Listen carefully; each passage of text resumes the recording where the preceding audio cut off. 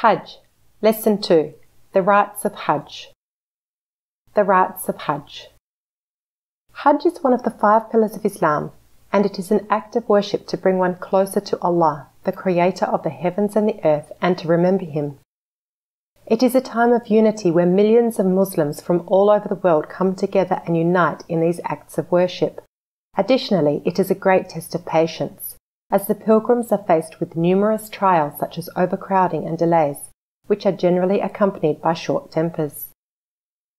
The rites of Hajj are performed at designated sacred places at certain times and dates. Some of the rites of Hajj are also performed for Umrah, which is referred to as the lesser pilgrimage. The symbols of Hajj are mentioned as they are connected to the rites of Hajj and Umrah or due to their great virtue. So, taking a look at the rites, sacred places, and symbols of Hajj. First of all, the rites Ihram, Talbiyah, Tawaf, Sa'i, Rajm, Hadyu, and Arafah. The sacred places in the city of Mecca, Mina, Arafah, Muzdalifah, Masjid al Haram, and the Miqat and Haram area. And the symbols of Hajj Zamzam, Kaaba, the Black Stone, Maqam Ibrahim, and As-Safa and Al-Marwa. The rites of Hajj and Umrah overview. First of all, the rites of Hajj include Ihram, a ritual state, Talbiyah, verbal intention, Tawaf, walking around the Kaaba, Sa'i, walking between Mount Safa and Al Marwa, Rajm, stoning of the pillars, Hadyu, sacrificing an animal, and Arafah, stopping to supplicate. And the rites of Umrah include Ihram, the ritual state, Talbiyah, the verbal intention, Tawaf, walking around the Kaaba, and Sa'i, walking between Mount Safa and Al Marwa.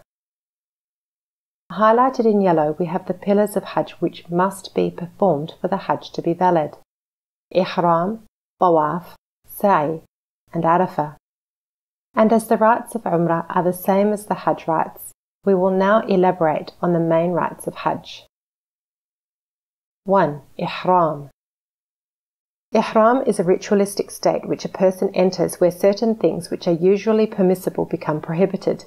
This is to remove one from the comforts of this life and remind one of Allah and their return to Him. Furthermore, Ihram is a sign of humility before Allah and human equality. The ritualistic state, ihram, is entered by purifying oneself, wearing certain clothing, making the intention to perform Hajj and or Umrah, and then ihram is maintained by adhering to certain prohibitions.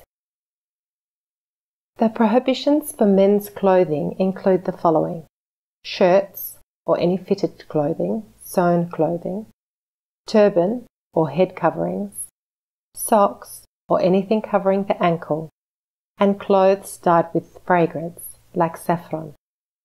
Generally, men wear two sheets which can be sewn or pinned to prevent from falling. Prohibitions for women's clothing include niqab, face garments with holes sewn for the eyes, and gloves, fitted sewn hand garments. The word niqab is derived from the verb naqaba, which means to put a hole in something. Women may cover their faces with material which does not have a hole for the eyes sewn into it. General prohibitions. Perfume. It is permissible for the men only to apply scents before making their intention. Otherwise, unperfumed products are okay. Also prohibited hunting game animals such as wild donkey or eating game animal. Cutting the hair or nails is not allowed unless for medical purposes. It is permissible to wash the hair and with water and sidr or unperfumed soaps. Marriage contracts, engagements, or assisting others is not permissible. Sexual relations are not allowed. And of course, disobedience and arguments are not allowed. How to enter Ihram. Number one, take ghusl, a purification shower, or otherwise perform wudu, ablution, even for women who are menstruating. 2. Remove all pubic and underarm hair and trim nails as this will be prohibited until exiting ihram. 3. Men can apply perfume before ihram, but not after. 4. Wear the permitted ihram clothing. And 5. Make intention at one of the designated places called a miqat. The designated places to enter ihram, a miqat, discussed shortly, inshallah, if coming from outside the Mecca region. People living in Mecca may enter Ihram from their homes for Hajj only. However, if they wish to perform Umrah, they will need to leave the Haram area to Masjid Aisha, which is the designated place for them to assume Ihram. For the one performing Tamattu' Hajj, Ihram will be re-entered from the place where the pilgrim intends to do Hajj, i.e. from their hotel in Mecca. Additional notes. If one fears they might be prevented due to illness, they make a condition.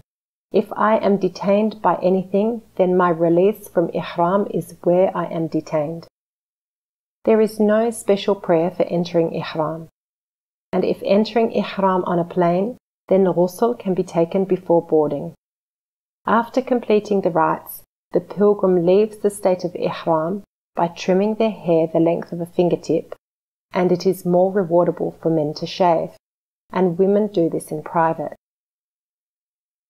In the event anyone breaks any of the ihram prohibitions, they must pay a penalty, fidya, of either fasting three days or feeding six poor people, two handfuls of wheat or barley, or sacrificing an animal. 2. Talbiyah the talbiyah is a verbal expression of intention said after entering ihram. It is a symbol of hajj showing readiness to serve Allah. The talbiyah should be said with sincerity. It reaffirms the testimony of faith, and it is responding to the call of hajj by Ibrahim, peace be upon him. The talbiyah should be recited when moving from place to place or changing circumstances. Pilgrims stop reciting it when they arrive at the jamarat, pillars for stoning. Women should recite the talbiyah in a low voice so that men cannot hear them. The talbiyah is read as Labbaik Allahumma Labbaik Labbaik la sharika lak إن الحمد ونعمة لك والملك لا شريك لك. Number three, Tawaf. Tawaf is walking around the Kaaba in an anti-clockwise direction seven times, starting when in line with the black stone. The significance of Tawaf is that it is prayer except there is talking in it. It is time of devotion and connecting to Allah and there is unity of movement and harmony with the creation. Tawaf starts from Hajar al-Aswad, the black stone, and circle around the Kaaba counterclockwise. Additional notes Pilgrims should be in a purified state when doing tawaf. When going around, they should not pass through the hijr, the semicircle section, or ascend it, as this was from the original foundation built by Abraham, peace be upon him. And women who are menstruating must delay until they return to their purified state. However, if the group will leave before she has finished her menstruation, she may wear a pad to protect herself and do her tawaf, as her hajj will not be accepted without it. Men do the first three rounds quickly, walking quickly or jogging slowly without harming others. It is sunnah, the practice of the Prophet, to kiss the black stone, to touch it, then kiss your hand, or touch it with a stick and kiss the stick. If all of these are not possible, then pointing to it is sufficient. It is not permissible to harm other Muslims, so leaving an act of sunnah in order to protect the Muslims is more rewardable. The supplication said during tawaf. When starting, say Bismillah, Allahu Akbar. In the name of Allah, Allah is the greatest. When passing the black stone, touch it or point at it and say Allahu Akbar, Allah is the greatest. When on the corner of the Kaaba before the black stone, say ربنا آتنا في الدنيا حسنة وفي الآخرة حسنة وقنا عذاب النار Our Lord, give us good in this world and good in the hereafter and protect us from the punishment of the fire. Exiting Tawaf. The crowd during the Hajj Tawaf will be too intense to just walk where one wants. Pilgrims will need to merge slowly through the crowd and back toward Maqam Ibrahim. If they choose to do Tawaf downstairs, then on the last round they should move toward the outside. 4. Sa'i Sa'i is walking seven lengths between Mount Safa and Mount Marwa, following the steps of Hajar. May Allah have mercy on her. It represents making the effort just like Hajar, a sign of honor for those who submit, strive to please Allah, and are patient with their tests. Start from As-Safa. Walk seven lengths between the mounts. From As-Safa to Al-Marwa is one length. Men should pass quickly between the green lights and Sa'i will finish at Al Marwa. The supplications of Sa'i. When heading to Mount Safa, say, إن الصفا ومروة من شعائر الله. Indeed, As-Safa and Al-Marwa are among the signs appointed by Allah. Then say, أبدأ بما بدأ الله به. I begin with what Allah has commanded me to begin. Number two, after climbing As-Safa and Al-Marwa, facing the Kaaba, the following is said three times, with supplication between them. There is no God but Allah alone. There is no partner with Him. His is the sovereignty. To Him all praise is due, and He is powerful over everything. There is no God but Allah alone, who fulfilled His promise, helped His servant, and rooted the Confederates alone. لا إله إلا الله وحده لا شريك له له الملك وله الحمد وهو على كل شيء قدير. لا إله إلا الله وحده أنجز وعده ونصر عبده وهزم الأحزاب وحده. 5. Rajm Rajm is the stoning of the pillars. Likened to Abraham's stoning Satan, representing repelling Satan from our lives, focus on worship and obedience, and pushing away distractions. This image shows the positions of the three pillars. Here we see the pillars are covered with shelters and note that the biggest pillar is furthest from the accommodation tents of Mina. The pillars are stoned seven times each. The stones or pebbles should be about the size of chickpeas or date seeds. On the first day of stoning, only the biggest pillar is stoned. From the next three days, all three pillars are stoned, starting from the smallest, which is the closest to the Mina tents. It is permissible for any weak people to designate someone to throw on their behalf, and due to the large crowds, it will also ease the intensity of the crowd on that day. The supplications of Rajm. Say each time you throw, Allahu Akbar, Allah is the greatest. After stoning each of the first two pillars, it is sunnah to stand facing the Qibla, direction of the Kaaba, supplicating to Allah, providing that the crowds are not too dense. 6.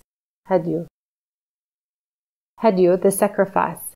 And when he reached with him the age of exertion, he said, O my son, indeed I have seen in a dream that I must sacrifice you. So see what you think. He said, O my father, do as you are commanded. You will find me, if Allah wills, of the steadfast. And when they had both submitted, and he put him down upon his forehead, we called to him, O Abraham, you have fulfilled the vision. Indeed, we thus reward the doers of good. Indeed, this was the clear trial.